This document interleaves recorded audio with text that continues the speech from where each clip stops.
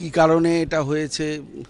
দুর্ঘটনা তো ঘটতেই পারে, কিন্তু সাবধানতাটা অনেক বেশি প্রিএমটিভ অ্যাকশন দরকার ছিল।